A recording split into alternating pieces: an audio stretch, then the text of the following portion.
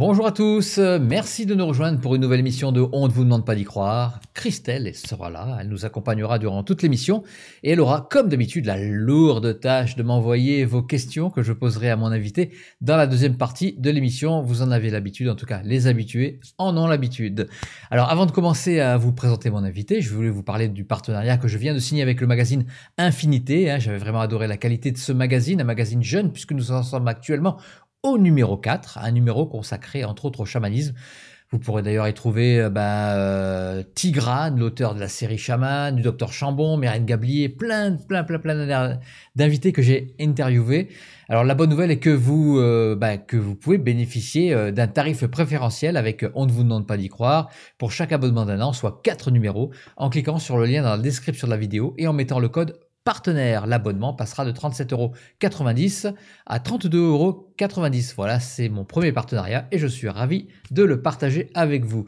Alors, mon invité d'aujourd'hui, eh ben, il est magnétiseur, coupeur de feu, médium depuis 34 ans. Thierry Balbeau, bonsoir et merci, merci d'avoir accepté mon invitation. Bonsoir Philippe, c'est moi qui te remercie de ton invitation, merci beaucoup. Alors Thierry, ça fait euh, bah, longtemps donc tu travailles avec, euh, bah, avec ces énergies, avec l'invisible. Est-ce que euh, tu, l'as appris? Ou alors est-ce que c'est une faculté que tu avais dès ta naissance? Alors je dirais c'est une faculté que j'avais dès ma naissance. Hein. Alors je m'en suis pas rendu compte dans l'immédiat, mais je dirais les choses sont vraiment apparues quand j'étais petit. J'avais 6 ans, 7 ans. Et, et, puis je voyais, eh ben, je dirais, ce monde un petit peu parallèle je dirais, euh, euh, des, je voyais des animaux, je voyais des personnages, comme dans des, dessins animés en fait. Hein. Et, on me parlait, et donc euh, moi étant petit, j'avais pas cette connaissance du tout. J'en parlais à mes parents, et, mes parents euh, disaient, Thierry, tu nous racontes n'importe quoi. Donc euh, voilà. Et puis euh, on m'a tellement, j'en parlais, j'en parlais à ma sœur parce que j'ai une sœur aînée, et, justement on me prenait un petit peu pour voilà un, petit menteur quoi. Voilà. et au bout d'un moment, j'en ai tellement eu marre que. Alors, c'est un petit peu comme beaucoup de personnes, en fait. Hein, je dirais, beaucoup de personnes ont vécu euh, à peu près les mêmes choses. Hein, et, au bout d'un moment, ben, j'en ai vraiment euh, eu, eu, marre. Et puis, j'ai demandé à ce que les choses s'arrêtent. Hein. Ah, Voilà. Et ça s'est arrêté? Tout à fait. Et ça s'est arrêté. Donc j'avais des, j'avais des frissons, j'avais des petits signes. Euh, on venait me toucher, mais on venait plus m'embêter. Je ne les voyais plus. Voilà. Et c'était vraiment ce qui se, ce qui se passait. Hein. Voilà. Et, et comme, comment dire, en fait, euh, euh, jusqu'à l'âge de, jusqu'à 18 ans, où là, les choses ont recommencé, en fait, hein, les choses sont revenues à moi, et, et puis là, j'ai commencé, je dirais, à, à, travailler en tant que euh, pas, travailler professionnellement, mais je dirais auprès euh, bah, des copains, euh, des copines que j'avais de l'époque en fait. Hein.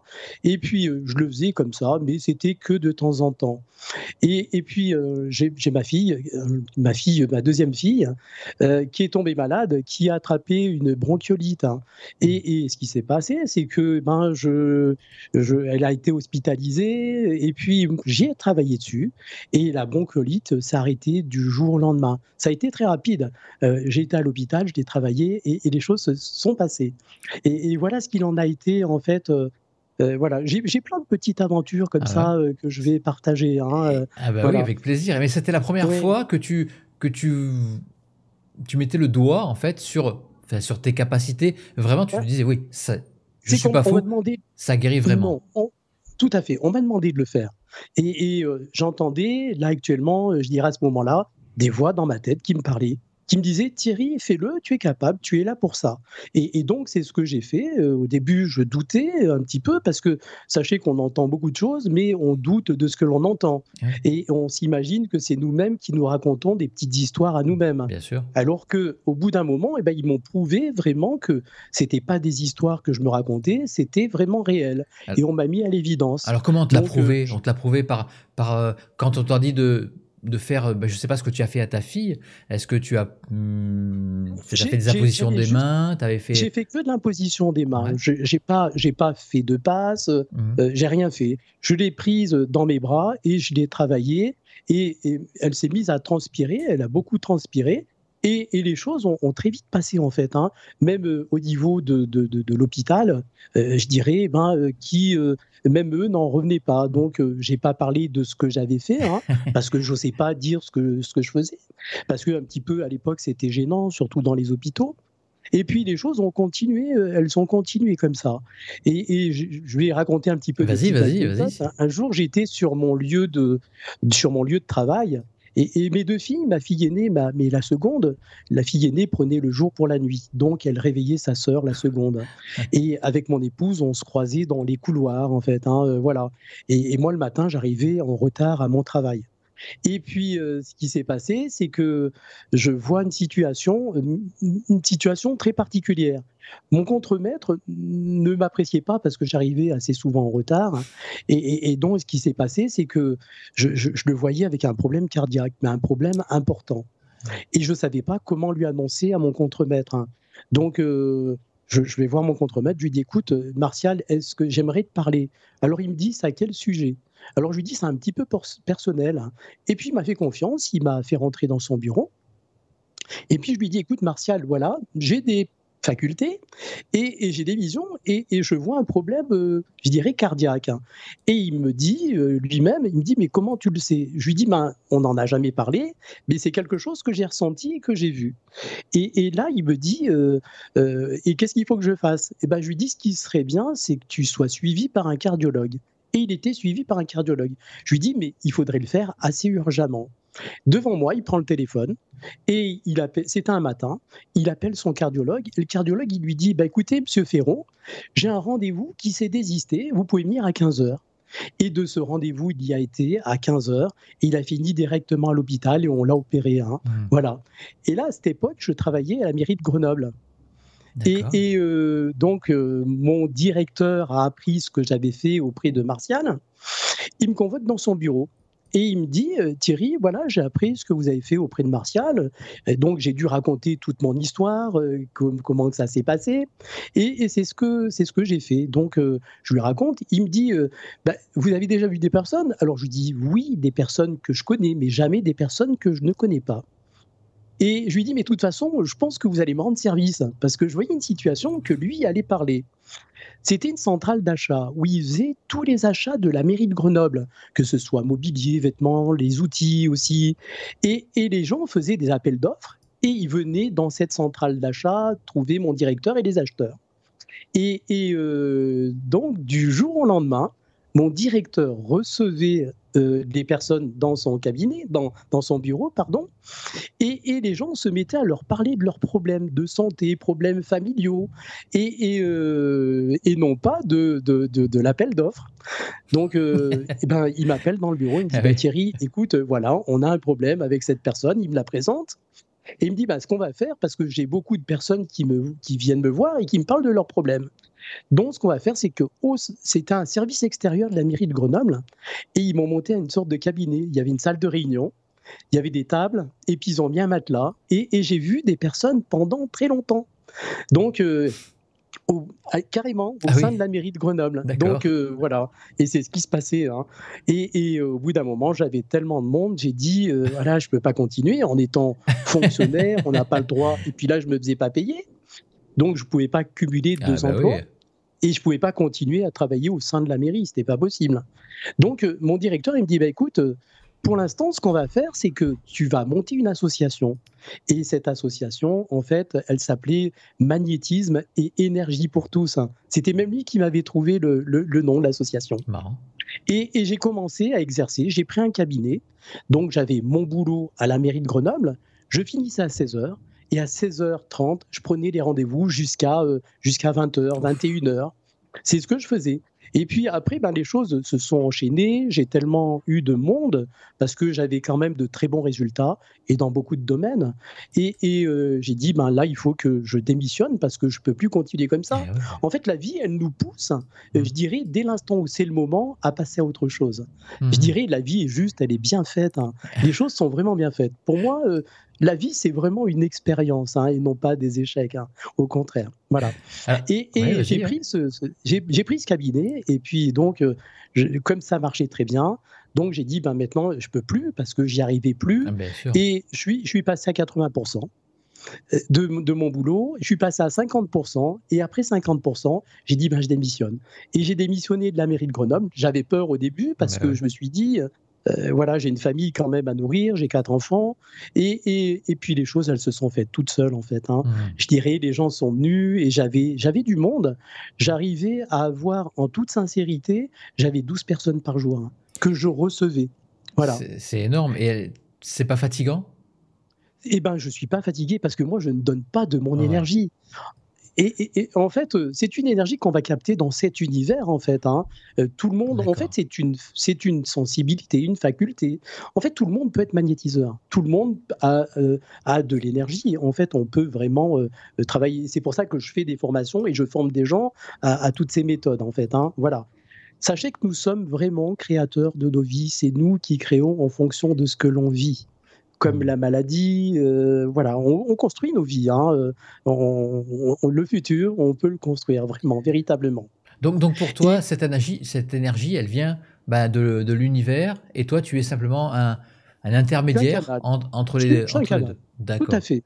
Parce et qu'on me retransmet, mmh. et je le donne. En fait, c'est je transmets de l'énergie, et c'est les gens eux-mêmes qui vont se soigner avec cette énergie. En fait, c'est pas nous qui soignons c'est les personnes elles-mêmes qui se soignent. Beaucoup de magnétiseurs disent c'est moi qui soigne. En fait, non, c'est pas nous qui soignons, c'est l'énergie que l'on transmet qui soigne en fait, hein, qui va permettre à la personne de se guérir. Hmm. Voilà. et c'est réellement comme ça. Et est-ce que tu enseignes, toi, c'est comment capter cette énergie? Tout à fait. En fait, ils vont se relier. Moi, ce que j'apprends, euh, je dirais, c'est vraiment aller se relier à cette source. Et ils vont vraiment se relier à cette source. Et, ensuite, ils apprennent un protocole qui va leur permettre de travailler en toute sécurité. Hmm. Au cours de cette formation, c'est pareil, hein. ils, suivent, ils suivent une thérapie parce qu'on ne peut pas aider, euh, je dirais, si on ne sait pas aider soi-même. Hein. Et je trouve qu'il est important euh, de travailler sur soi avant de travailler sur les autres. Hein. Euh, justement, tu dis que les protocoles que tu, que tu apprends. J'en ai qu'un. J'en ai qu'un. C'est un protocole universel. Ah d'accord. Mais moi, ce, que, qui m'intéresse, sur tous les mots. Ce qui m'intéresse, c'est quand tu dis que ça, tu, tu, permets de travailler en toute sécurité. Euh, alors, oui. Pourquoi Est-ce que quels peuvent être les risques de se lancer, imaginons, sans formation? Ben, Je dirais, on peut récupérer les mots des autres. Avant, ce qui se passait, c'est que les anciens magnétiseurs, à l'époque, ils donnaient de leur énergie, ah, de leur vitalité. Et, le fait de se vider, en fait, ces gens-là mouraient très tôt. Ah Quand je dis très tôt, c'était 50 ans, 60 ans, ah et ils partaient, et ils partaient dans la souffrance. Hein. Voilà, parce qu'ils n'avaient plus, on ne pouvait plus se recharger. Et je dirais, les gens se vidaient vraiment de leur énergie. Donc, Là, maintenant, on travaille différemment. Moi, j'ai beaucoup de thérapeutes qui viennent et on leur permet de travailler différemment, sans qu'ils puissent transmettre de leur énergie. Alors, comment on, fait pour, important. comment on fait pour pas transmettre cette, pour, euh, cette énergie, pour ne pas donner de sa personne? C'est qu'on a quand même une force d'intention, je suppose, quand il y a un consultant en face de toi. Euh, est-ce que tu as l'intention toi aussi de le guérir ou alors tu laisses l'univers? J'ai aucune intention. Ah, et, et c'est ce que j'enseigne à mes élèves. On n'a pas besoin d'être dans une intention particulière. En fait, on laisse travailler l'énergie. Et c'est l'énergie qui fait le travail et non pas nous qui faisons le travail. Par contre, on est important. Si nous, on n'est pas là, le travail ne se fait pas. Hmm. C'est grâce à nous, je dirais, que le travail va se faire. Et grâce à l'énergie qu'on lui transmet, la personne va pouvoir travailler sur elle. Hmm. Il, est, important et ça fonctionne pour moi. Euh, je dirais, je suis déjà euh, depuis, euh, voilà, ça fait 35 ans que je suis thérapeute, hein, et je dirais depuis 2014, c'est là où j'ai commencé mes formations. On est à 1200 élèves formés. Et, et, si on va, je dirais même sur, sur mon site, j'ai les avis sur Google, j'ai même des vidéos. Euh, en, fait, les gens sont. En fait, c'est une transformation. Je suis un éveilleur de conscience. Je vais faire prendre aux gens, aux élèves, conscience que c'est tout eux qui détiennent, en fait, hein, et non pas nous. Moi, j'ai pas de baguette magique, hein, mais eux ont leur propre baguette magique. Hein. Mmh. Il n'y a, que nous qui pouvons pour nous-mêmes. Et en fait, ce qui se passe, c'est que euh, c'est un enseignement qui se fait dans la simplicité. Parce que plus la vie est simple, et plus ça fonctionne. C'est-à-dire, plus l'enseignement est simple et mieux ça fonctionne. Le but de certains thérapeutes, de formateurs, c'est de compliquer la chose. Hmm. Parce que dès l'instant où c'est compliqué, les gens y croient parce que c'est compliqué. Et puis finalement, il n'y a plus de, il y a pas de fin. Et je dirais, euh, et le thérapeute ou le formateur garde la, garde la maîtrise de tout ça. C'est comme quand on coupait le feu avant. Eh ben, c'était une prière qu'on se Mhm, transmettait ouais. de génération en génération. On n'a pas besoin de prière pour couper le feu. Tout le monde peut couper le feu. Je dirais c'est simple. Hmm. Pareil, c'est la même a- il y a chose. rien de Alors, compliqué. on appelle l'énergie euh, de l'univers, enfin je sais pas comment, ça- comment tu appelles ça, Tout à fait. et tu lui demandes de travailler, tu lui demandes comme quelque chose à cette énergie? Ou Même pas. même En, en fait, elle est tellement, elle Elle est comprend tellement tout. intelligente, cette énergie, cette énergie que, en fait, les choses se font vraiment tout seules. Et, et, et, et- je dirais, tout ça est prouvé par tous les élèves que j'ai formés. hein. Je dirais, euh, je raconte pas de bêtises. Euh, voilà. Comment, comment moi j'en suis arrivé à, à la formation? Eh ben, Tout simplement, j'avais l'habitude de voir un astrologue. Et j'ai vu cet astrologue pendant des années, pendant dix ans. On était même d'ailleurs devenus amis. Et, et, euh, euh, il me disait à chaque fois, mais Thierry, tu vas enseigner. Mais je lui dis, mais c'est pas possible, je ne suis pas capable d'enseigner. C'est pas mon domaine. Surtout qu'à l'école, j'étais pas, euh, j'étais pas, j'étais- j'étais pas fort, quoi. Voilà, parce que j'étais un Italien et puis on n'aimait pas à l'époque les Italiens. Ouais. J'avais un prof qui était assez particulier, qui me faisait des croix sur la tête avec la craie. Ah bon? Euh, voilà, c'était assez particulier. Voilà. Et, et donc, euh, le fait que bah, lui, euh, le, fait qu'il m'ait transmis cet enseignement à l'école, hein, je parle de l'éducation nationale, donc je me suis fermé à tout ça. Voilà. Et je voulais plus, euh, justement, voilà. Et, et ce qui se passe, c'est que. voilà, je sais plus où j'en suis là. Je, je suis un petit peu, je suis un petit peu sous l'émotion. Ouais, Ouais, ouais, non, mais t'en veux pas. Mais euh, Voilà. moi, ce que je voulais... c'est pareil. Ouais, vas-y, vas-y, continue, vas-y. Excuse-moi.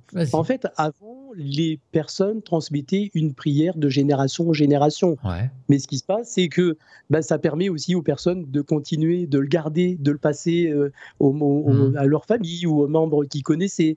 Euh, en fait, c'est garder le pouvoir. En fait, hein. moi je dis, on n'a pas de pouvoir. Cette possibilité, elle est donnée à tout le monde. Et tu, tu zappes l'intention, toi, en fait. Et- juste une question euh, qui, là, c'est une question de curieux. Pour toi, quand tu as, je sais pas moi, une petite maladie, quelque chose, euh, tu as, quand tu appelles l'univers, quand tu le, pour, pour te guérir, euh, Oui. est-ce que tu, tu y mets une intention plus forte quand c'est pour toi? Parce que, bah, je sais pas, tu as des douleurs ou, ou autre chose. J'ai des- j'ai des- je, je travaille avec des guides quand même. hein. Ah voilà, avec. Ah, euh, d'accord. On va, on va en venir guides. à la médiumnité un petit peu. Oui, oui, aussi. ouais, bien sûr, tout à fait. Ouais. Eux m'aident aussi, je dirais, dans, euh, dans, dans les démarches. Euh, comment, en fait, je, je sais exactement ce qu'il en est. Quand une personne vient me voir, je vois exactement ce qu'il en est. Et je travaille, je dirais, vraiment dans la problématique de la personne. Mais ce qu'il faut se dire, c'est que les mots sont vraiment déclenchés par les mots, par, le mental, en fait. hein.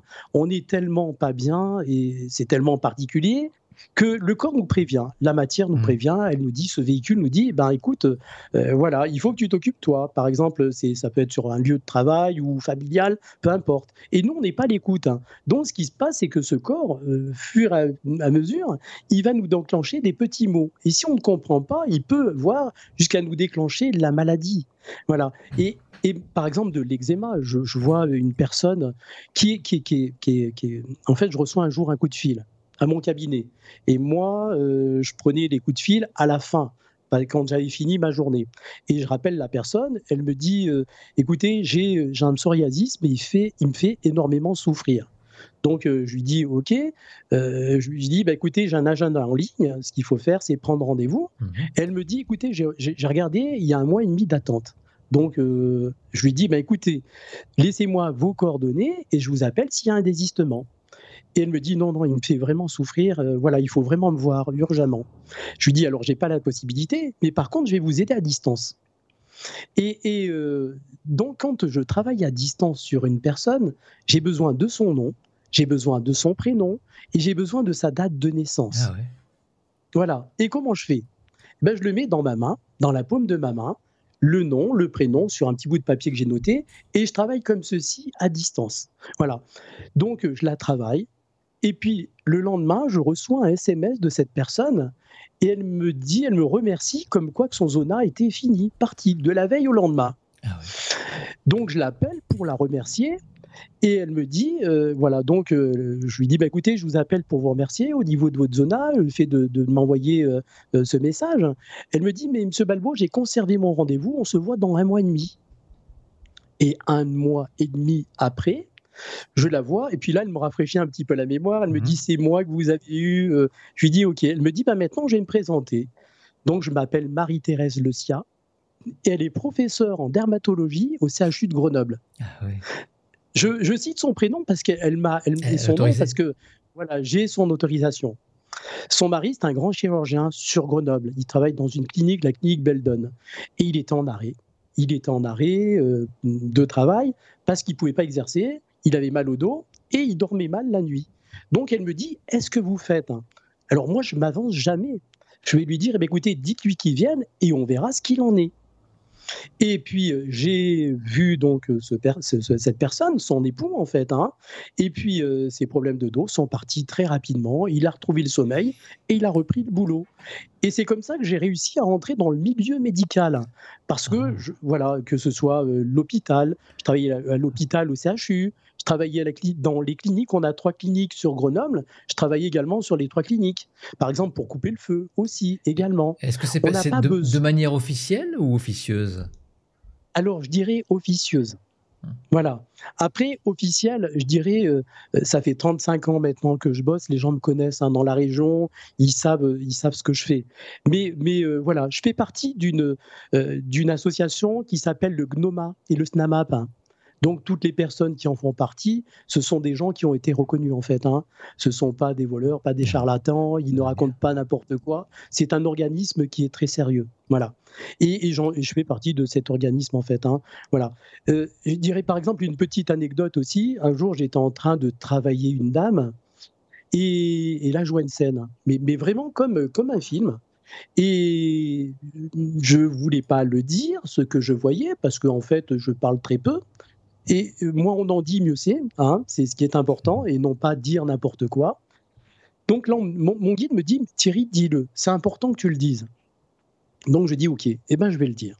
Donc je lui dis à la dame Écoutez, euh, elle était allongée, elle était sur la table.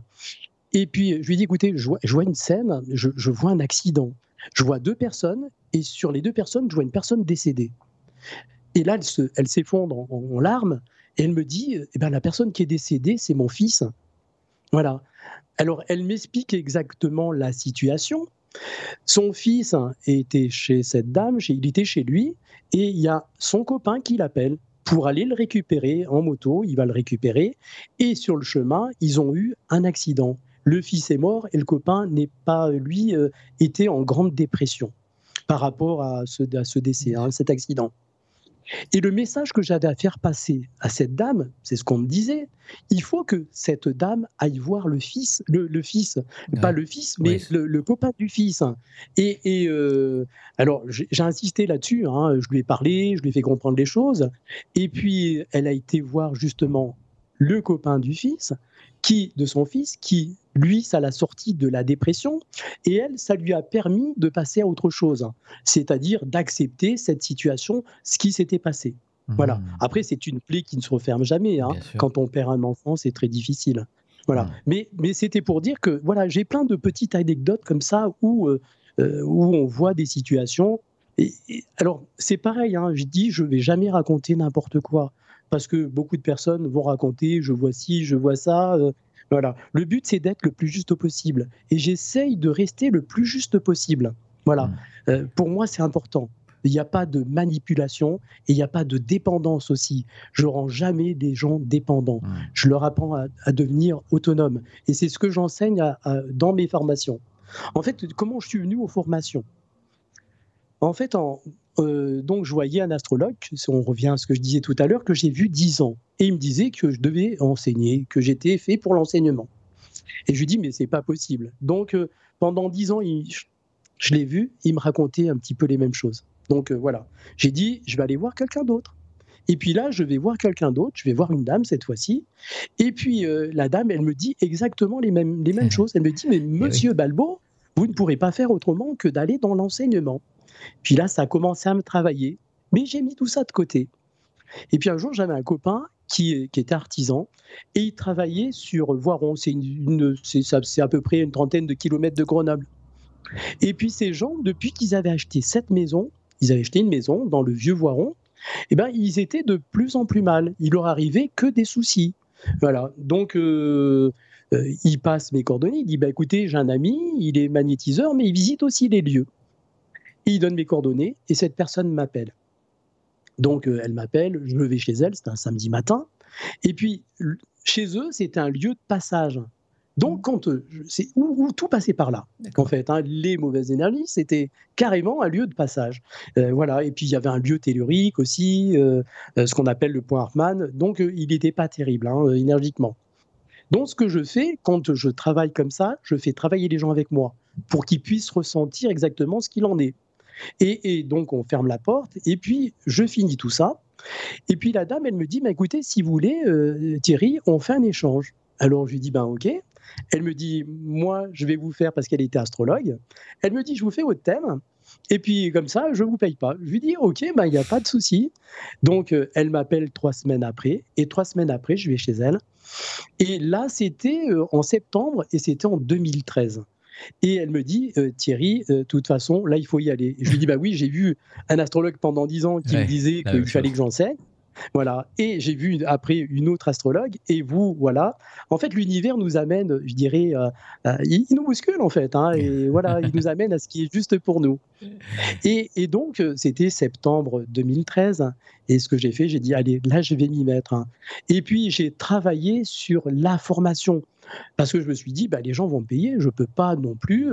il faut vraiment que je sois capable d'animer et de leur donner vraiment du, du, concret, quelque chose. Et, euh, donc, j'ai préparé cette formation et, de jusqu'à euh, février 2014. Et là, j'ai loué une salle, février 2014. Avant, je les faisais en, en week-end. C'était euh, quatre week-ends par mois.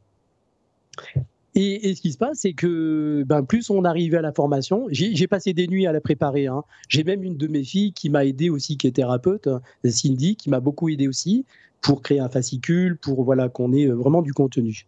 Et, euh, la veille de la formation, quelques temps avant la formation, euh, je voulais arrêter, je voulais décommander ah parce que j'avais peur en fait. Hein, euh, je me sentais pas encore capable de pouvoir animer ça. La peur de gagner. j'avais peur, mais j'avais vraiment peur. Hein. Et, donc j'ai tellement été encouragé par ma famille et par mes amis que j'ai dit ok, j'y vais. Et, donc c'était en week-end, c'était le samedi et le dimanche. Et le vendredi, j'ai pas dormi de toute la nuit, mais vraiment, j'ai pas dormi toute la nuit, j'ai pas fermé l'œil. Et puis, euh, j'arrive dans la salle, il, y avait, il fallait passer par la cuisine pour aller à cette salle. Les gens étaient déjà là, parce que c'était pas moi qui ouvrais la salle. Hein. Et les gens étaient au café, donc je dis vite fait comme ça bonjour, je vais dans ma salle, je prépare ma salle, parce que je la travaille énergiquement hein, pour que les gens soient bien. Et, voilà, donc euh, je finis de préparer ma salle, les gens, ben, c'était le moment de commencer la formation, ils rentrent dans la, dans la salle, et, puis là, il s'est passé quelque chose en moi, mais quelque chose de particulier en fait. Hein. Euh, j'ai senti, euh, mais, mais, mais, comme une grosse vague de frissons, mais voilà, et je me sentais vraiment entouré. Et, puis là, ben, je dis, euh, je, me présente aux élèves et puis je leur dis voilà, écoutez, vous êtes le premier groupe que je forme. Et là, ce premier groupe, j'avais 14 euh, personnes. Je lui dis, j'ai jamais forcé. Vous êtes les premiers. J'ai jamais formé de personnes dans ce domaine. Voilà. Donc, euh, c'est vous qui allez m'aider pendant toute cette formation. Et, j'ai dit, s'il y a quelque chose qui ne va pas, aidez-moi, dites-moi-le. Hein. Il faut soyez sincère et honnête avec moi. Et puis les choses se sont passées, on a fini les quatre week-ends, et puis les gens étaient tellement contents, ils étaient tellement ravis, ils m'ont dit Thierry, tu es fait pour ça. Voilà. Donc ce que j'ai fait, j'ai loué encore la salle pour septembre 2014. Et je la, je la poste sur mon site. Et en l'espace d'un mois, j'ai eu 18 personnes qui se sont inscrites. Hein. Voilà. Ça, a été très rapide. Et, euh, donc, c'est pareil, je leur ai dit, bah, écoutez, vous êtes le deuxième groupe. Et puis après, ça a tellement bien fonctionné que bah, je, dirais, bah, là, on est vraiment à 1250 personnes, 1200 euh, personnes formées, vraiment. Donc euh, voilà, ça, crée vraiment une communauté, euh, euh, je dirais, importante. Et, voilà, et on est vraiment dans un partage. Il y a vraiment de l'amour, de la bienveillance. voilà, on leur apprend, à, on, éveille les consciences. Ils suivent une thérapie pendant cette formation. on, éveille leur conscience. Et ça, c'est important. Qu'il n'y a qu'eux qui peuvent pour eux, et non mmh. pas nous qui pouvons pour eux. On est là pour les accompagner, on est là pour leur faire comprendre. Pendant cette formation, ils suivent aussi une thérapie. On travaille sur le transgénérationnel, sur le karmique. Euh, euh, voilà, ils apprennent à couper le feu. Il y a un protocole. Euh, voilà, il y a plein de choses qu'on met en place. Voilà, je vais pas en parler là. c'était pas, c'était pas le but en fait. Hein, voilà. Et mais tu es en communication permanente avec tes guides, tu vois, même pour, pour ton chemin donc de formation, de formateur. Est-ce que ils insistaient eux aussi Il n'y avait pas que les astrologues?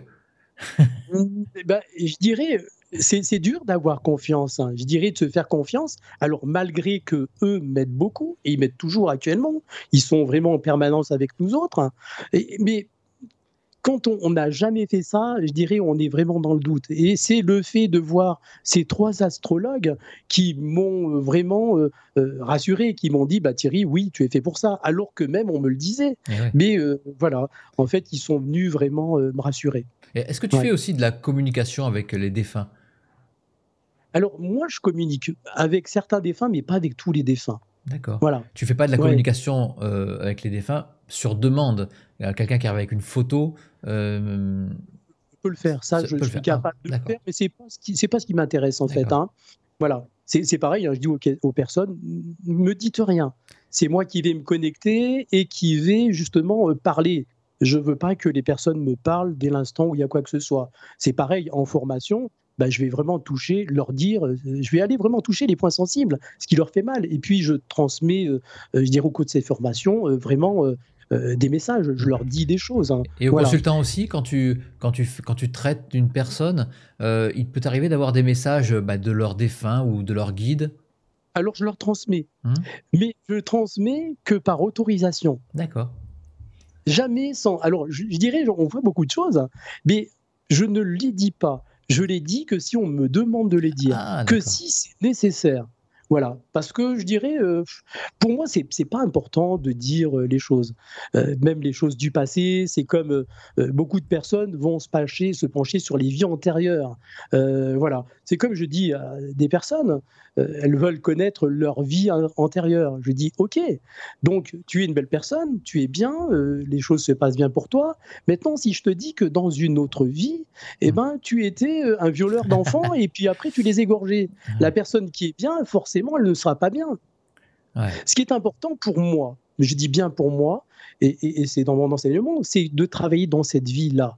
Mmh. C'est pas important ce qu'on était hier. C'est pas important ce qu'on est demain.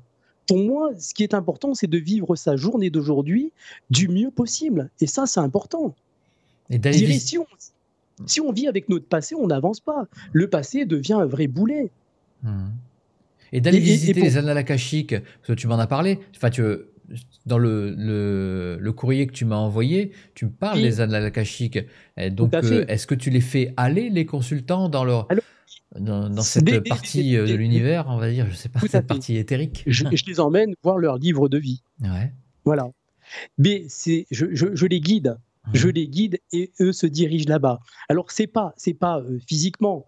je dirais, astralement, les choses sont faites vraiment astralement. Quand moi, je, par exemple, je travaille à distance, hein, c'est pas mon corps physique. Par exemple, s'il y a une personne qui est à des milliers de kilomètres, hein, euh, moi je n'y suis pas physiquement, mais je me déplace astralement.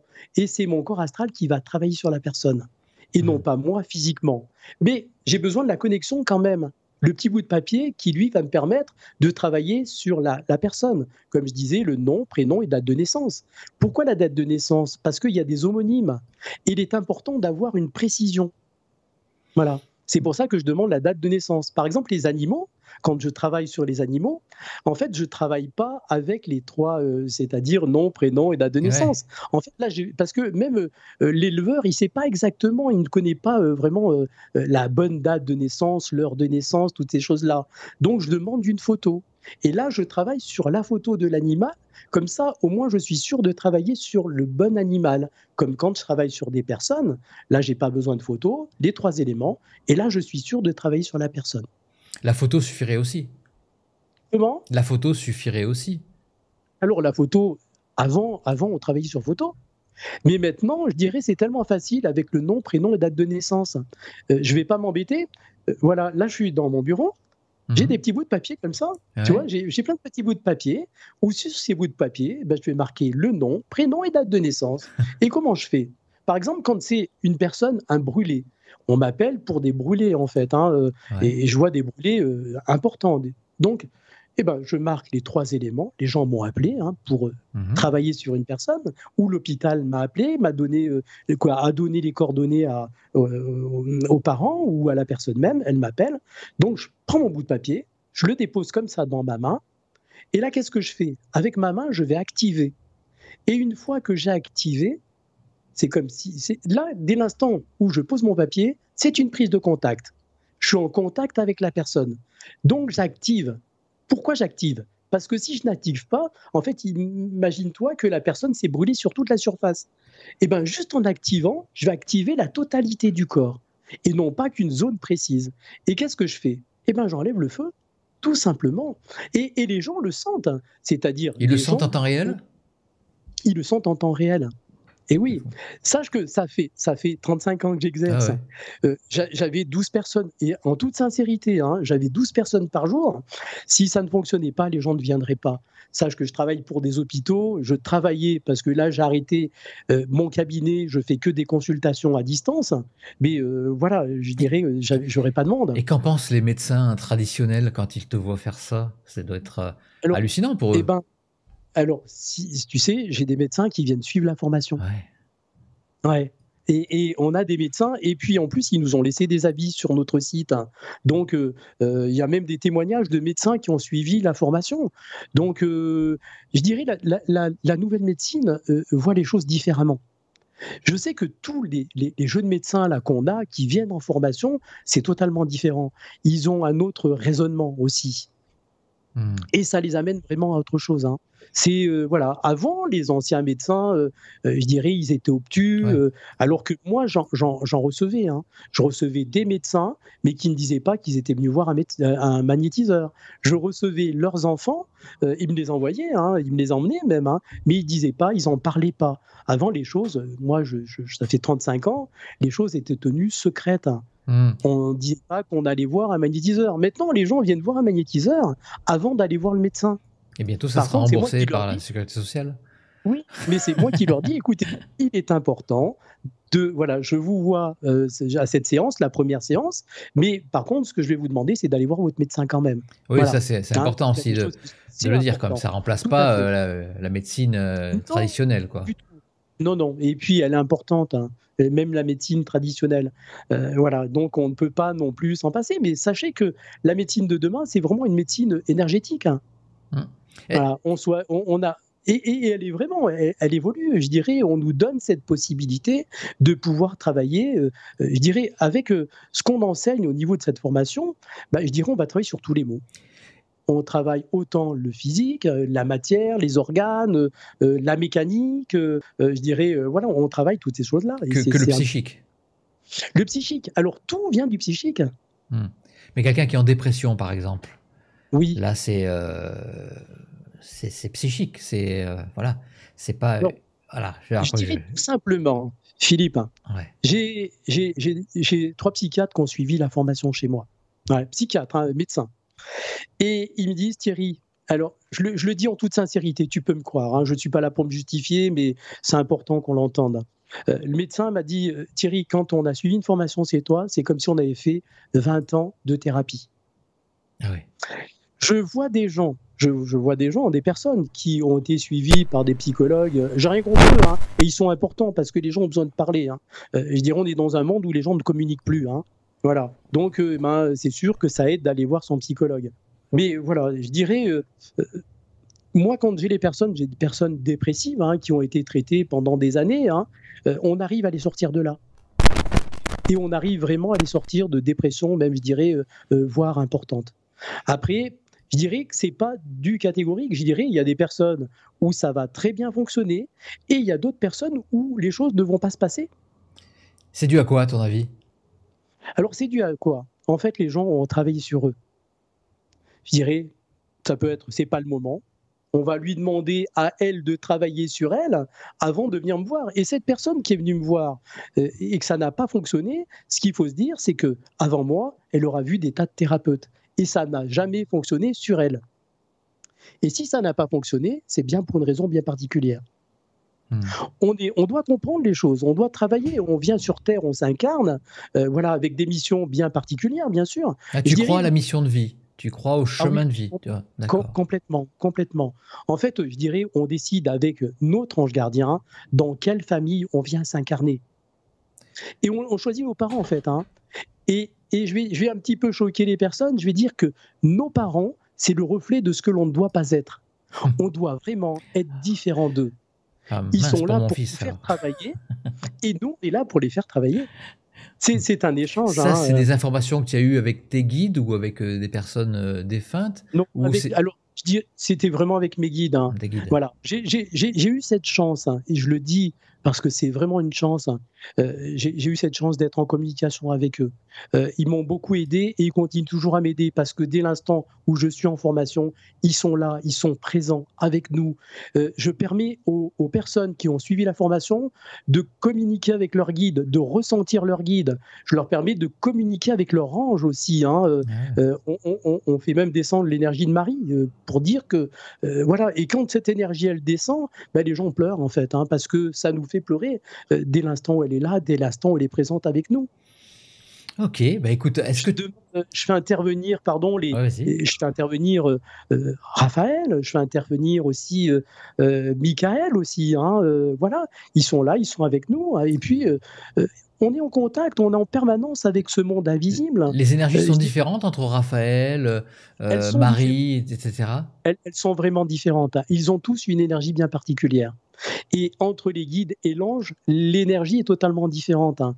Et, les, élèves ressentent la différence entre les guides et entre l'ange, parce qu'elle n'est pas pareille, c'est pas la même. Les anges apportent une aide aussi à la guérison?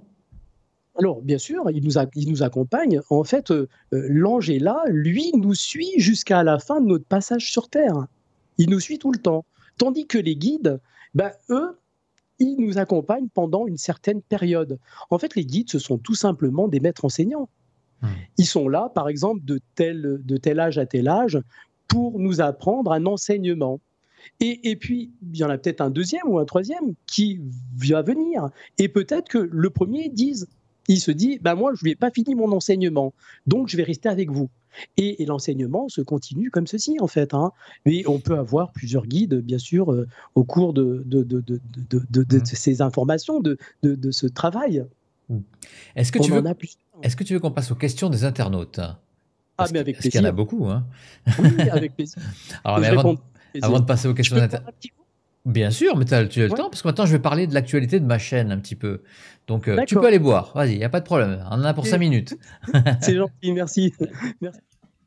Alors l'actualité de On ne vous demande pas d'y croire, évidemment. Euh, il y a plusieurs choses, il y a évidemment les ateliers dont on ne demande pas d'y croire, donc vous pouvez aller voir les derniers ateliers que nous avons organisés. Il suffit d'aller sur le site on ne vous demande pas d'y croire.fr et puis vous avez des vidéos de présentation de chaque atelier que nous proposons.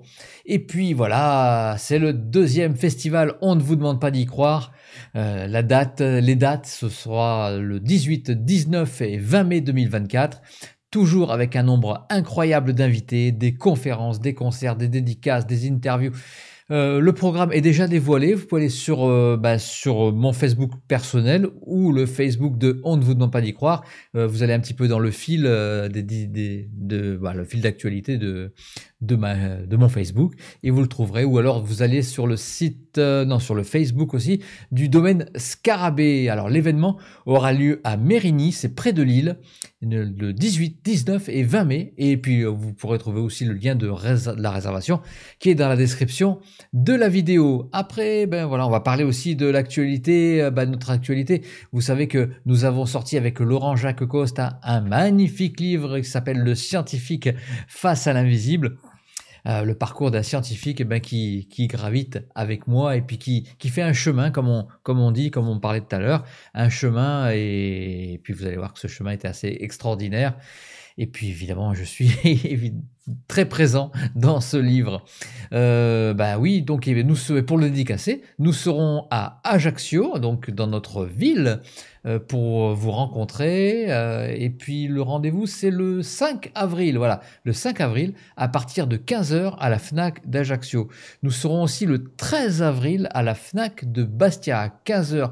Oui, je serai à 15h parce que je sais que Laurent Jacques arrive directement de Bastia, enfin il arrive de du continent, il va arriver à l'aéroport à Bastia, il va aller direct dédicacer à la FNAC. On, on s'est débrouillé pour que on soit présents tous les deux, mais c'est pas évident. Mais on sera là, euh, la FNAC de Bastia, le 13 avril. Et la FNAC de Ajaccio, c'est le vendredi 5 avril à partir de 15h. On continue euh, notre petite tournée avec le 20 avril. Nous serons toujours avec Laurent Jacques Costa à Béziers, au domaine des Hautes-Vignes, chemin de la Daubinelle.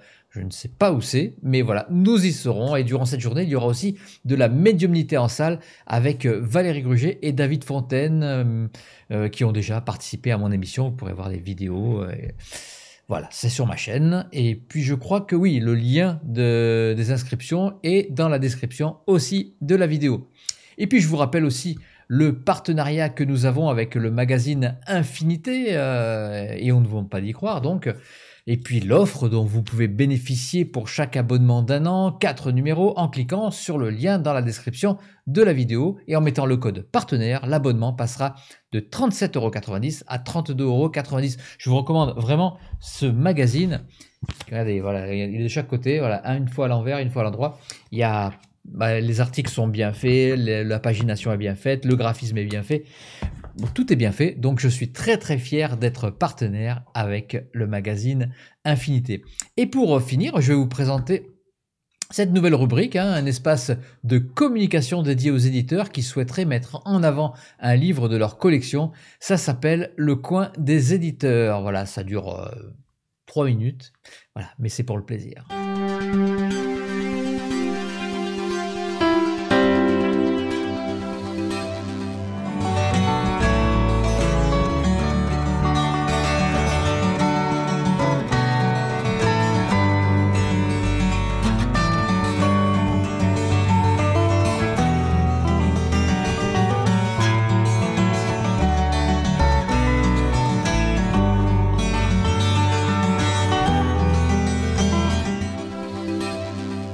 Bonjour à toutes les belles âmes. Je suis ravie de présenter mes ouvrages, La clémence de l'ange et La clémence de l'ange, souviens-toi de l'éternité.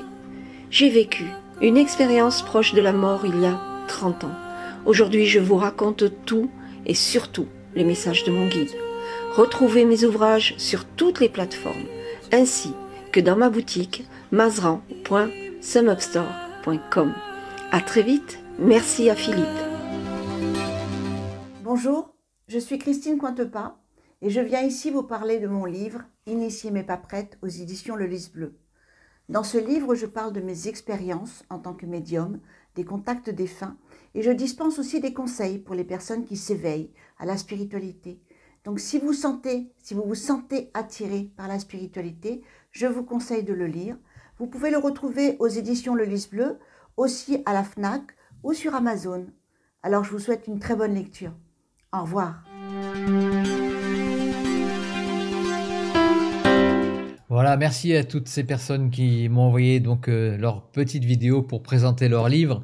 Euh, merci à Christelle qui m'a envoyé toutes ces questions. Voilà, on va commencer euh, par Constance. Ah, tu es prêt pour affronter le questionnaire des internautes de la chaîne On ne va pas y croire? Ils sont avec moi, je pourrais répondre. On commence par Constance. Bonsoir. Question Peut-on soigner juste parce qu'on a reçu un message de son guide qui dit Lorsqu'on a une douleur, mets tes mains et ça fonctionne au bout de cinq minutes Bien sûr, on peut, sans, aucun problème. Je dirais, euh, dites-vous que c'est donné à tout le monde. Hein. Hmm. C'est vraiment donné à tout le monde.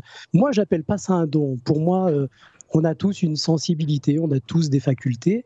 Euh, voilà, seulement, après, ce qui est important, c'est d'apprendre à travailler avec. Hein. Voilà. Dès l'instant où on ne travaille pas ou on n'a pas appris à travailler avec, ben, je dirais on peut récupérer les mots des personnes. Alors, on va pas les garder, mais ils vont les garder pendant une certaine période. Mhm. Ça peut être voire 15 jours, euh, une simple, je dirais, une tendinite. Eh ben, on va voir la personne, mais on va garder la tendinite. Alors, pas systématiquement. C'est pour ça qu'il est important de se protéger tout- de tout ça. Euh, moi, je peux travailler sur les personnes, je vais pas me faire vampiriser énergiquement. Mhm. Et les entités ne peuvent pas s'accrocher à moi. Voilà, elles, elles ne peuvent pas. Bah, tu as répondu, vraiment tu as répondu de à la deuxième question là. Ah, pardon. Non, mais c'est bien. Hein Euh, tu dois peut-être être un petit peu voyant aussi. un tout petit peu. C'était Marie qui demande comment être sûr d'être protégé dans cette pratique. Bah, je dirais, après, il y a des outils, justement, pour pouvoir être protégé de cette pratique. Voilà. Et, et c'est pour ça que je dis, même au cours de cette formation, on apprend à travailler en toute sécurité. C'est c'est- c'est important. Un simple petit exemple. Pardon. Euh, vous êtes en pleine forme et vous allez dans un lieu où il y a du monde. Par exemple, Carrefour, parce que moi j'ai Carrefour qui est pas loin de chez moi. Eh ben, le fait de rentrer dans le magasin, d'aller dans ce lieu où il y a du monde, les gens vont venir vous vampiriser énergiquement. Mhm. Alors, les choses sont pas faites consciemment, elles sont véritablement faites inconsciemment. Et on ressort du magasin, on est vidé Ah ouais. énergiquement, on est fatigué. Parce que les gens, si on arrivait à voir toutes les connexions, les interconnexions des personnes, euh, je vais dire, on se fait, on se fait bouffer énergiquement. Est-ce que tu les vois, toi? Alors, voir toutes ces interconnexions, non. Ah. Il y a des moments où je voyais toutes ces choses-là, mais j'ai demandé à être fermé à tout ça. Ouais. C'est comme avant, quand j'étais dans. Je, je- je voyais beaucoup de personnes. Par exemple, j'allais dans, euh, dans, dans- dans un lieu public, je sentais les mots des personnes. Donc, sentir les mots des personnes, je dirais que c'est désagréable. Donc, c'est pareil. Je leur ai demandé OK, je veux bien accompagner, je veux bien euh, vraiment aider les personnes hein, et les accompagner du mieux possible, mais par contre, je ne veux pas ressentir parce que ça ne m'intéresse pas. Mhm. Par contre, je veux les ressentir dès l'instant où je suis dans mon cabinet, Ouais. où là, j'accompagne les personnes. Hmm. En fait, ce qui est important, c'est que je suis Thierry Balbo, euh, je dirais euh, euh, tout simplement, hein, dans la vie normale, et, et je suis le magnétiseur dès l'instant où je suis dans mon cabinet. Voilà, c'est comme si je mettais une combinaison et je l'enlève dès l'instant où je sors. Sachez que dès l'instant où vous allez commencer à aider les personnes, eh ben, vous allez à une fête et les gens vont venir vers vous, ils vont dire Ah, mais moi j'ai mal au genou, moi j'ai mal là, donc tout le monde profite de la fête, et puis vous allez passer votre temps à, à- à aider les personnes, à les accompagner, et on ne profite pas de la fête. Et quand tu fais une Donc- interview comme ça qui est sur le sujet de la spiritualité et de ton travail, c'est Thierry Balbo ou c'est Thierry Balbo qui est aidé par ses guides? C'est Thierry Balbo qui est aidé par ses guides. Je dirais, tu, tu sais quoi, Philippe? Sans eux, je ne serais pas grand-chose. Voilà. Parce que je dirais, si j'en suis là actuellement, euh, c'est bien grâce à eux. Mhm. Bien sûr, je travaille aussi, hein, euh, justement, parce qu'on travaille toute notre vie, hein, pendant toute la durée de notre passage sur Terre. Par contre, plus on travaille et plus les choses viennent de plus en plus faciles. Ils nous aident. Mais euh, voilà, c'est grâce à eux que j'en suis là. On continue avec Maeva. Comment pouvez-vous savoir que l'énergie transmise est suffisante lors d'une séance? Alors, on, on le sait. Sachez que l'énergie, c'est intelligent. Et c'est réellement intelligent. Et on a juste à la laisser couler et elle va remplir la personne. Elle va la remplir vraiment. Une séance de magnétisme, ça dure 45 minutes grand maximum. Pas plus. Et on est sûr, et encore, moi, quand je- je- j'accompagne des personnes, en 30 minutes, on a fini notre, on a fini notre, notre accompagnement. Le consultant a- le sent quand c'est c'est fini, quand il est rempli d'énergie? Il, il le sent. Il le sent Mm. vraiment. Parce qu'il sent que les choses ne passent plus, en fait. hein. Je dirais, pendant qu'on le travaille, il Ouais. sent vraiment tout ce qu'on fait. Il sent l'énergie qui va débloquer des situations. Les- ce qui est bien, c'est que l'énergie va travailler sur tous les problèmes. Par exemple, une personne vient pour un problème bien particulier. Mhm. Par exemple, pour le genou. Et comme ce genou lui fait vraiment mal, elle va me parler que de son genou. Mais elle va pas me parler du reste. Ouais. Et ça va travailler quand même. Et ça, et ça travaille, bien sûr que ça travaille. Et, et moi, ce que j'aime bien, c'est voir les gens deux fois. Je les vois une première fois et je les vois quatre semaines après. Voilà, c'est ce que c'est ce que je fais. Mhm. Ça permet à l'énergie de faire son travail et les personnes envoient le résultat, le bénéfice de ce que l'énergie a fait sur les personnes. Et la personne, elle me dit, par exemple, elle revient au deuxième rendez-vous, elle me dit, Monsieur Balbo, j'ai encore un petit peu mal au, au genou, mais euh, voilà, ça va. Et, mais par contre, elle me parle de ce qui ne va pas, mais jamais de ce qui va. Et, et je vais lui dire, mais et comment que ça se passe au niveau du sommeil? Et elle va me dire Ah oui, c'est vrai que depuis que je vous ai vu, ben, je dors, alors qu'avant, je dormais pas. Voilà, c'est pour ça que je dis l'énergie va travailler sur tous les mots mmh. et non pas que sur un mot que la personne est venue, par exemple, pour, pour son genou ou autre chose. Ça travaille sur la généralité, sur la totalité. Et à distance ou en présentiel, il n'y a pas de différence? Il n'y a aucune différence. Sachez que pendant le Covid, pendant la période Covid, j'ai fait que travailler à distance. Euh, voilà, et même sur des grands brûlés aussi, c'est pareil. Hein, je dirais, euh, ça fonctionne à distance aussi. Le, travail est aussi efficace en présentiel qu'à distance. Après, la à distance, je dirais, euh, ça, agit vraiment. Après, ce que les gens aiment bien, c'est voilà, c'est la relation entre le, patient. Mais comment je fais quand je travaille à distance bah, La personne a pris rendez-vous. Je vais lui demander ses problématiques. Qu'est-ce qu'elle a? Pourquoi elle a pris ce rendez-vous? Et puis, je vais lui demander euh, ben, depuis combien de temps elle a cette problématique? Et puis, je vais lui demander est-ce qu'il s'est passé un événement particulier qui a déclaré cette problématique? Voilà. Et puis ensuite, eh ben, je vais lui demander son nom. On va échanger un petit peu. Je vais, elle me dit exactement pourquoi elle est venue. Et mais si elle me le dit pas, ben, je vais lui dire aussi. Et, et je vais prendre le nom, prénom et date de naissance. Et je vais lui dire, mais écoutez, ce que je vais vous demander, c'est de vous mettre dans un lieu tranquille, dans votre chambre, par exemple, allongé ou sur un fauteuil. Et, et, on reste bien sûr connecté. Et je vais lui dire, ben, je, vous le dirai quand j'ai fini. Et je la travaille pendant une demi-heure. Et après cette demi-heure, je lui dis à la personne, voilà, j'ai fini. La personne a ressenti tout ce que j'ai fait. Hmm. Et, elle le dit, hein, elle le dit, donc c'est pas un leurre. Hein. Oh. Elle dit vraiment tout ce qu'on a fait. Et, euh, voilà. Et puis les choses, elles vont bien. Euh, je dirais moi quand je travaille à distance, bah, je dirais les gens ressentent vraiment le bénéfice du travail qu'on fait. On peut venir te voir et dire check-up complet. Tout à fait. Voilà, je veux retrouver la santé parfaite. Basta. Tout à fait. Alors, ce qui se passe, c'est que moi, je les ai vus deux fois. Hein, je ne les vois pas plus. Et, puis, par contre, elles me disent est-ce que je dois revenir? Je lui dis bah, écoutez, non, il n'y en a pas l'utilité, mmh. euh, la nécessité. Si vous allez bien, ce n'est pas, c'est pas, c'est pas important de venir. Mmh. Par contre, je lui dis écoutez, il y en a qui viennent à chaque intersaison. Et elles viennent à chaque intersaison. Ah il y en a qui viennent une fois par an. Voilà, euh, se mmh. faire, euh, euh, comme tu disais, un petit checker. En fait, hein, voilà. ce qui est important, c'est venir se faire recharger énergiquement. Après, le fait de venir à chaque intersaison, bah, ça préserve de tout ce qui est virus et tout ce qui s'ensuit aussi. Hein, voilà. Donc les gens viennent bien à chaque intersaison.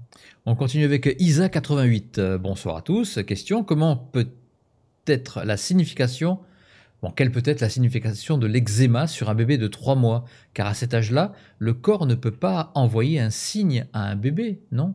Merci. Alors, bien sûr que le, bien sûr, sachez que la maman c'est la source. Hmm. C'est celle qui nourrit ses enfants énergiquement. Elle est nourrie énergiquement. Hein. L'enfant est relié à la mère. Donc, si la mère, parce que souvent on l'a eu en consultation, si la mère n'est pas bien, bah forcément, elle, inconsciemment, elle va retransmettre toute son énergie à cet enfant, à son enfant. Et l'enfant va ressentir le mal-être de la maman. Il y a forcément une problématique mmh. chez la maman qui va déclarer. Un enfant n'est pas capable, par exemple, le bébé, il va pas dire bah, Maman, je sens que tu es pas bien. Eh il est incapable de le dire. Déjà, il parle pas. Mais quand on est plus grand, par exemple, un enfant de même de 7 ans, il n'est pas capable de dire, bah, maman, je sens que tu vas pas bien, je le sens que voilà, les choses ne vont pas. Mais par contre, elle lui retransmet cette énergie en tout cas. Ok, on continue. oui, pardon. Pardon, excuse-moi. Non, non, non, vas-y, vas-y, vas-y. Il y a des mamans qui m'emmènent un enfant, par exemple, pour des problèmes bien particuliers. Et, et, je lui dis, écoutez, euh, ce qui est bien, alors il puis ça se puisque ça vient que de l'enfant aussi, hein. mais la plupart du temps, je dirais 95%, c'est même de la maman. Mmh. Et, je lui dis, bah, écoutez, l'enfant, vous êtes venu avec l'enfant, je vais voir l'enfant. Voilà, j'ai pris connaissance de l'enfant, mais je lui dis, écoutez, ce qui serait bien, c'est que vous puissiez, vous, venir, euh, bien sûr, si vous le désirez, hein, à une consultation. Et le fait qu'elle vienne à une consultation, ça libère l'enfant. Mmh. Ça le libère de son eczéma ou autre, d'autres problématiques. On continue avec Ghislaine. Est-ce que vraiment chacun d'entre nous, bah, quelqu'un qui va avoir une confirmation, hein, tu l'as déjà dit tout à l'heure, mais est-ce que quelqu'un, est-ce que, est-ce que vraiment chacun d'entre nous peut vraiment avoir ce même pouvoir de se guérir soi-même et faire de même autour de nous? L'univers nous a tout donné. Il nous a tout donné. En fait, les choses se développent dès l'instant où nous on est prêts. Ah. D'accord. Mais vraiment, dès l'instant où nous, on est prêt. Par exemple, euh, je dirais, euh, au cours de la formation, on va travailler sur la clairvoyance, sur la clairaudience aussi. hein. On, on ouvre tout ça. Mais euh, je dirais, c'est pas forcément parce que la personne va venir et que je vais dire, ça va tout de suite, dès, dès l'instant de la fille d'information, être clairvoyante ou clairaudiente. Hmm. Voilà. Par contre, les choses, elles se font dès l'instant où l'univers sent que la personne a bossé sur elle et qu'elle est prête. Ce qu'on va lui demander, c'est de bosser. On ne nous donne pas les choses comme ça. Les gens ont beau faire des formations, des formations et des plein de formations, c'est pas parce qu'elles ont fait plein de formations que les choses vont aller plus vite. hein. Je dirais, c'est nous qui devons travailler sur nous. Et c'est nous qui faisons que les choses vont se développer ou pas. D'accord. On continue. eh, pardon. On continue avec Constance. Oula, j'ai un chat dans la gorge. On continue avec Constance. Attends, je bois un coup parce que là. Oui, merci, j'en profite. hein. merci. Alors, on continue avec Constance.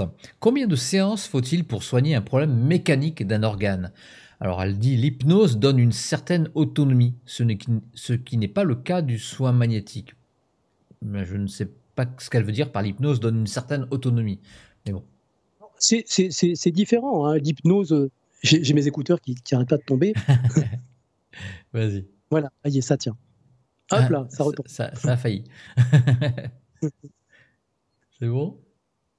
Voilà, aïe, c'est bon. voilà. L'hy- L'hypnose, c'est totalement différent. On va travailler sur le subconscient, l'inconscient. euh, voilà. En, en fait, dites-vous que le magnétisme, c'est simple. C'est pas nous qui faisons le travail, c'est l'énergie qui va faire le travail. En hypnose, j'ai été formé en hypnose, hein, j'ai fait deux écoles aussi. Euh, on, on- on va parler, on va s'adresser à l'inconscient. Mais le but, c'est c'est pas ça. C'est que c'est plus facile, je dirais, euh, de, de travailler avec le magnétisme que de travailler avec l'hypnose D'accord, ok. pour moi. Après, moi, je m'en servais juste euh, pour les arrêts du tabac, en fait. hein, euh, voilà. Donc, euh, je m'en servais vraiment pour les arrêts du tabac, mais pas pour autre chose. hein. Ah. Je peux changer mes Ah, trucs, hein, parce Euh, que mais ça... Non, mais t'as peut-être tes oreillettes, t'as peut-être mis le gauche à à droite et le droite à gauche, peut-être Ah oui, bah, je sais. C'est fort Donc, possible. je. C'est peut-être pour ça, alors. Oui, oui, je pense. C'est mieux? C'est mieux, ça tient. Oui, Voilà. merci. Ça, c'est le geek qui parle. hein. Ouais, voilà. Tout à fait. Euh, Laurence, euh, vous avez des formations dans, elle dit le bas de la France, bon, je suppose que c'est le sud. Oui, en- Envisagez-vous d'aller dans l'ouest ou Paris? Alors, je dirais, euh, j'ai deux lieux où je forme, en fait. je forme sur Grenoble, l'hôtel. Mercure. hein. Voilà, Euh, on a une salle, euh, en fait, euh, voilà, on a la salle pour la semaine que je loue, en fait. hein. Et puis, on a une autre, euh, un autre lieu où c'est Montpellier, où on va former sur. Montpellier. Voilà. Après, pour me déplacer, je dirais, quand les gens viennent de partout, en fait, hein, je dirais, les gens qui viennent en formation, bah, je dirais, euh, il y en a qui viennent du nord de la France, il y en a qui vont même venir de. J'ai eu des personnes de Madagascar, j'ai des personnes qui viennent de l'île de la Réunion. Euh, voilà, donc les gens viennent de partout en fait. hein. Dès l'instant, sachez qu'à cette formation, on n'y vient que si on est prêt. Ok. Et dès l'instant où on est prêt, alors ça va être par inter- un intermédiaire. Par exemple, des personnes qui ont suivi la formation vont parler à d'autres personnes. Écoute, ce serait bien que tu ailles faire la formation. Ou alors les guides les emmènent aussi à venir à cette formation. Il y en a qui vont allumer leur ordinateur et ils tombent directement sur mon site, alors que en fait ils voulaient même pas chercher mon site. Donc il y, a- il y a plein de signes comme ça qui font euh, euh, qu'on est prêt. On ne peut pas venir à cette formation si on n'est pas prêt. C'est pas possible. On continue avec Titou. Est-ce que dans votre famille aussi, il y a des médiums, des magnétiseurs ou autres? Oui, alors moi j'ai quatre, j'ai quatre filles. Donc la première de mes filles, euh, Cindy, euh, c'est Cindy Balbo, elle est thérapeute. hein. Voilà, elle fait comme moi. Elle a été aussi formée à l'hypnose, à la PNL aussi. hein.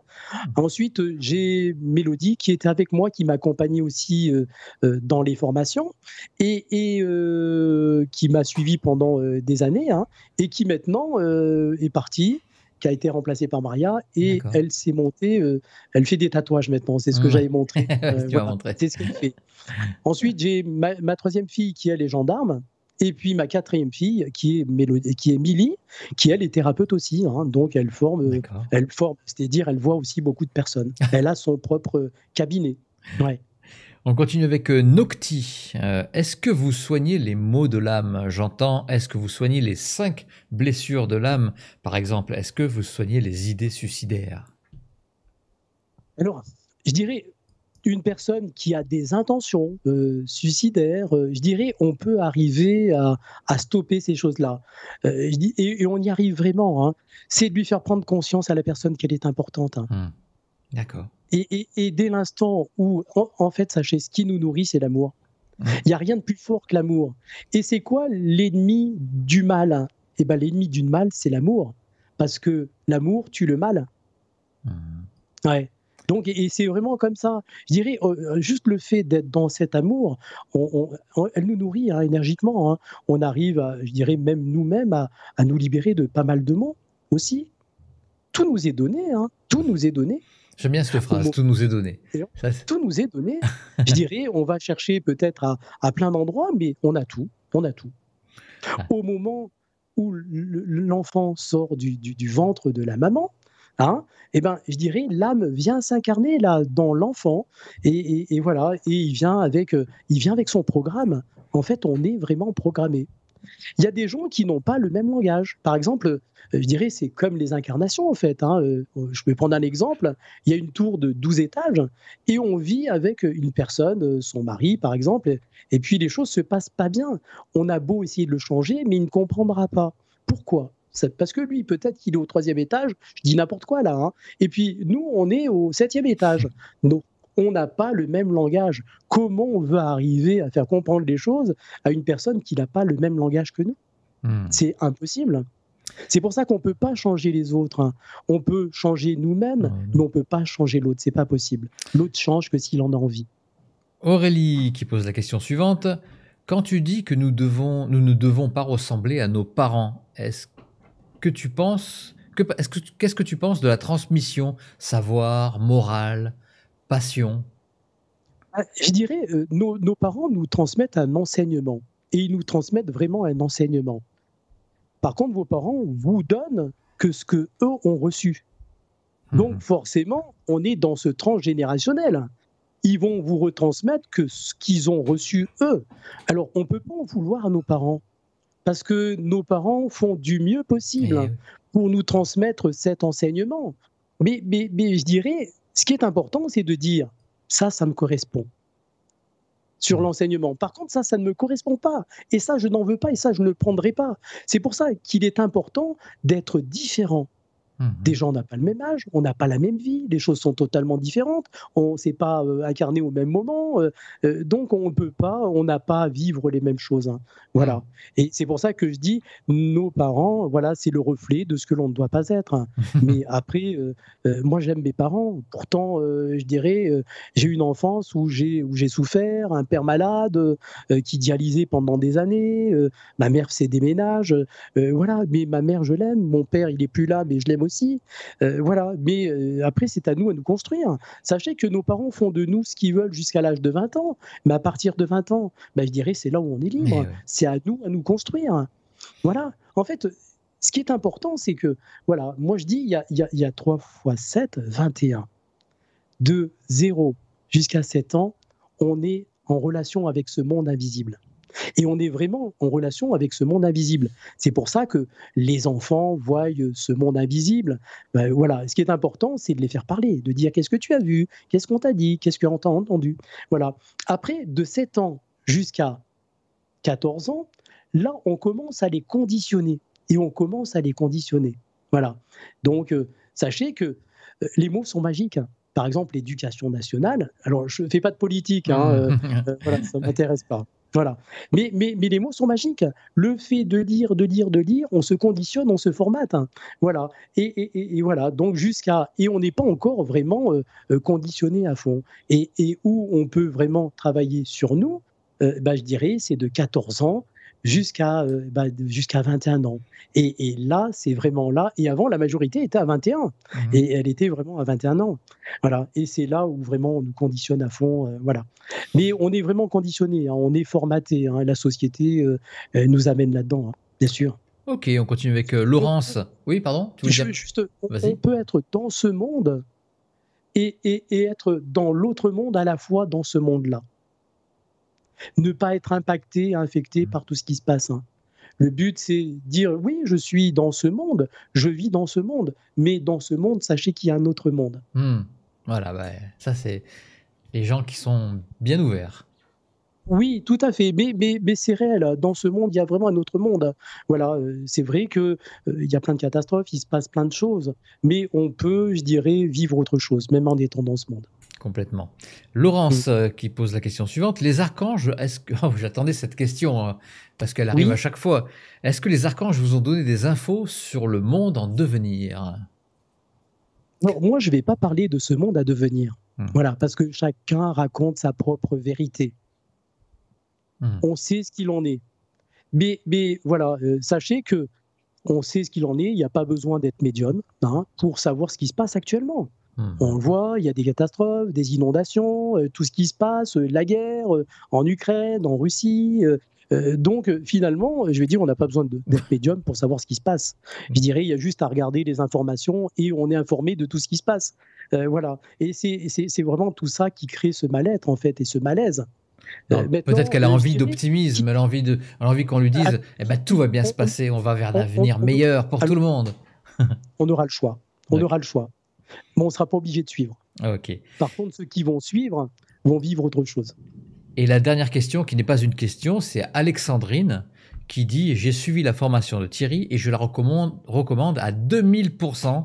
Cet Mais homme est un ange. Un énorme merci à lui et à Maria. Et oui, parce qu'on travaille, je travaille avec Maria, on est tous les deux. Comme Mélodie est partie, c'est pour ça que je disais tout à l'heure, Maria m'accompagne. Voilà. Hmm. Et, et depuis des années maintenant, je travaille avec Maria et, et voilà. Donc, euh, Et Christelle, on, on qui, travaille vraiment, et Christelle qui on travaille vraiment dans l'amour. plusieurs témoignages de ses élèves. Ils sont tous heureux. Écoutez, je leur apprends à être autonome, à être indépendant. On leur apprend, euh, voilà, à ne pas dépendre des autres. On leur apprend. euh, sachez que nous sommes vraiment des éveilleurs de conscience. Eh bien, on gr- fait prendre Oui, conscience, pardon, aux gens que c'est eux qui sont importants et non pas les autres. Bien sûr, les autres sont importants, mais que tout dépend de nous. Tout dépend de nous seuls. Eh N'allons pas chercher ailleurs ce que nous avons en nous. Ah ben oui. Un grand merci Ouais. Thierry. Merci pour ton enthousiasme. Merci euh, à toute mon équipe. Merci à Christelle, euh, Cyril, Laurent Jacques, Mathis, Alicia, mon fils Lisandre, Laetitia. Si vous voulez soutenir la chaîne, il y a un lien PayPal hein, dans la description de la vidéo. N'oubliez pas que c'est en grande partie grâce à vous que l'émission est toujours au rendez-vous. Et puis n'oubliez pas non plus de vous abonner. Alors vous êtes combien maintenant à, à me soutenir, à soutenir la chaîne? Je vais vous le dire exactement parce que vous allez avoir le chiffre en temps réel. Vous êtes 113 909 abonnés à On ne vend pas d'y croire. Je vous fais 113 909. Bisous. Et, je vous donne rendez-vous euh, demain. Bah, demain, il y a deux émissions. Alors, il y a la première, émi- Alors, la première émission, pardon. Voilà, la première émission, c'est le samedi 30 mars à, deux- à 18h30, évidemment, avec Laurent Jacques Costa, qui est le co-auteur de, de Parce qu'on ne vous pas d'y croire, et le scientifique face à l'invisible. Donc, c'est c'est la personne, c'est mon allié, c'est mon scientifique à moi, avec qui nous avons écrit euh, euh, nos deux ouvrages, et on va bien sûr parler du scientifique face à l'invisible, mais on va aussi euh, parler de sa vie. Vous allez voir, son, parcours est, bah, assez incroyable, et puis, ça, ça, peut inspirer quand même pas mal de, de chemin de vie, on va dire, si tant est qu'on ait un libre arbitre pour pouvoir le choisir. En tout cas, j'y crois et j'espère qu'on l'a vraiment. D'ailleurs, on n'a pas trop parlé du libre arbitre. Je ne sais pas ce que tu en penses. Est-ce que on a un libre arbitre? On a, c'est nous qui avons le choix. Bon, ça va. On Ouf, c'est bon. Ça, je, Voilà. je- je suis content. et puis à, 20h, à 20h, nous aurons euh, Vanina Chirinsky euh, qui viendra pareil répondre à vos questions. Voilà, ça sera un jeu de questions-réponses que nous aurons ensemble. Alors ce n'est pas, elle va pas faire de la médiumnité, ça sera des, des questions sur son expérience de mort imminente, sur comment fonctionne sa médiumnité, etc., etc. Ça sera pas des questions personnelles. Mais voilà, allez-y, posez vos questions. Vous pouvez déjà, d'ores et déjà, vous pouvez les poser dans le chat de l'émission. euh, le, vous allez sur euh, la, la programmation de, bah, de, de l'émission de demain. Euh, Donc, euh, vous regardez samedi 30 mars, 20h, Vanina Chirinsky. Vanina répond à vos questions et vous pouvez déjà les poser sur le chat. Voilà, que sur le chat. Voilà, uniquement. Pas, n'envoyez pas sur, euh, vos questions sur euh, Facebook, euh, Messenger, WhatsApp. non, non. Voilà, uniquement sur le chat, parce que j'ai déjà reçu des questions, c'est pour ça que, que je vous le dis, sur le chat uniquement. Voilà, bah, j'ai tout dit, euh, maintenant il te reste plus que bah, donner le mot de la fin. Moi, j'aimerais euh, déjà vous remercier à tous tes, tous tes auditeurs hein, et puis te, te, remercier à toi, Philippe. Hein. Merci de ta gentillesse, de ce que tu es, de ce que tu dégages. Ah, merci, euh, sache que, en toute sincérité, je t'aime beaucoup. Euh, je te regarde souvent, j'apprécie ce que tu fais, j'apprécie ce que tu es. Euh, pour moi, tu es vraiment une belle personne. Pour moi, je te le disais tout à l'heure, tu, es, tu es un elfe. Hein. Même, hein. même si j'étais un peu. Je, t'ai poussé à acheter un micro et tout, j'ai un peu honte quand même. Mais bon, tout s'est bien passé, tu avais un super son. Voilà, l'émission a été impeccable. Peut-être que ça me servira pour plus tard. Ah, mais j'en suis sûr. Oui. Mais merci beaucoup, Philippe, du fond du cœur. Vraiment, je te remercie. Merci. Merci, merci à tous. Merci. Je vous embrasse. Ciao. Merci.